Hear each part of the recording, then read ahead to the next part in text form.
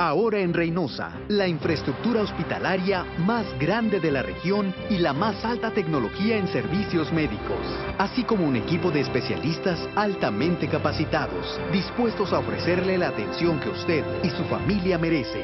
Cristus Mujerza Reynosa, ahora más cerca de ti. No es como lo pintan, el río Bravo un buen atractivo turístico. Incendio en Pemex realizan simulacro en complejo petrolero.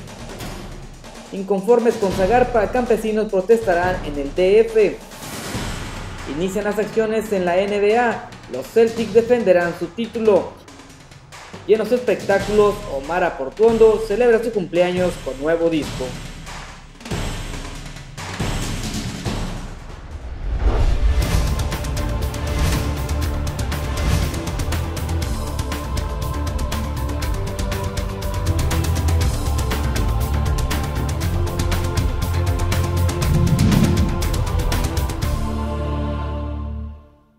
Hola, ¿qué tal? Esto es HCN La Verdad Sin Reservas. Hoy es miércoles 29 de octubre y los saludo con mucho gusto. Mi nombre es Luis Orlando Sánchez. Bienvenidos.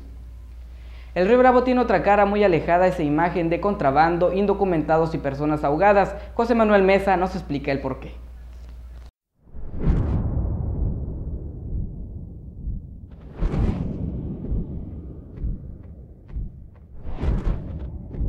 El caudal que divide la frontera más transitada del hemisferio norte es el escenario de los capítulos más negros de la migración ilegal y trasiego de drogas, por lo cual resulta casi imposible creer que también es un sitio de tranquilidad y descanso.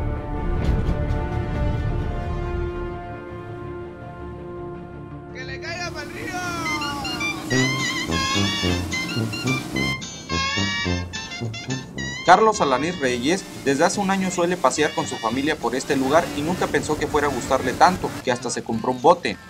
Nos encontramos con el señor Carlos Alanís, quien amablemente nos prestó su lancha para hacer un recorrido por el río Bravo y demostrar que no solamente es un lugar de peligro, sino también hay esparcimiento y hay lugares paradisiacos.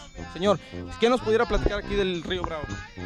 Pues básicamente que también este, nos gusta pasear en él, traer a los amigos, a las familias. No lo vemos como, como una zona de peligro, como tú lo mencionas, sino como un lugar donde también nos podemos divertir sanamente. En las riberas del río existen numerosos desembarcaderos, centros recreativos, casas de campo, restaurantes y lugares para la navegación turística y pesca deportiva. A bordo de su bote Queen Mary, de 6 metros de longitud y con 150 caballos de fuerza, Carlos señaló que es un espectáculo mirar las embarcaciones deslizarse a grandes velocidades. Nos, gusta ver mucho los americanos cuando vienen a esquiar o cuando traen sus motos, sus, lanchas rápidas. Es algo que nos llama la atención, ¿no?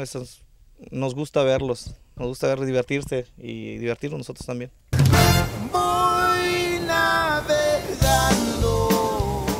Para navegar en aguas del río Bravo se requiere un permiso expedido por la Comisión Nacional del Agua y contra lo que pudiera pensarse no existe acoso de los agentes de la patrulla fronteriza.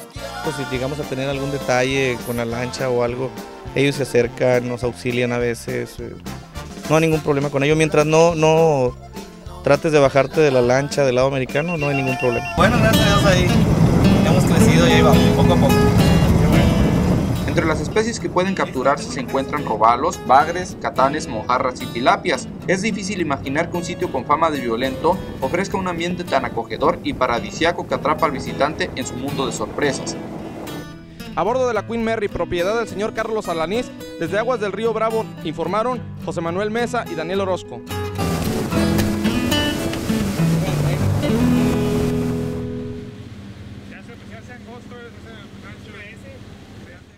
Algo sorprendente, ¿verdad? Y sobre todo muy alejado de lo que normalmente escuchamos del río Bravo.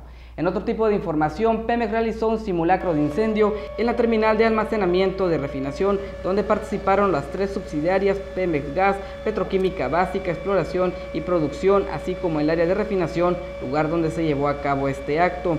Este ejercicio duró poco más de media hora, donde participó personal de Pemex, Protección Civil y bomberos, así como tránsito municipal. De acuerdo a explicación dada por organizadores, el incidente que se suscitó en esta terminal de almacenamiento fue una fuga de gas en un tanque que ellos llaman TV, donde resultó intoxicado un empleado. De acuerdo a la tarea desarrollada por el personal, trataron de aminorar este problema arrojando agua al tanque en el que tenían problemas y para ello utilizaron mangueras bastante grandes. Posteriormente llegó la ambulancia donde se trasladó al supuesto intoxicado. También fue evacuada la secundaria número 4 que se encuentra cerca de este complejo a fin de que los estudiantes sepan cómo actuar en caso de un problema que pueda suscitarse en Pemex.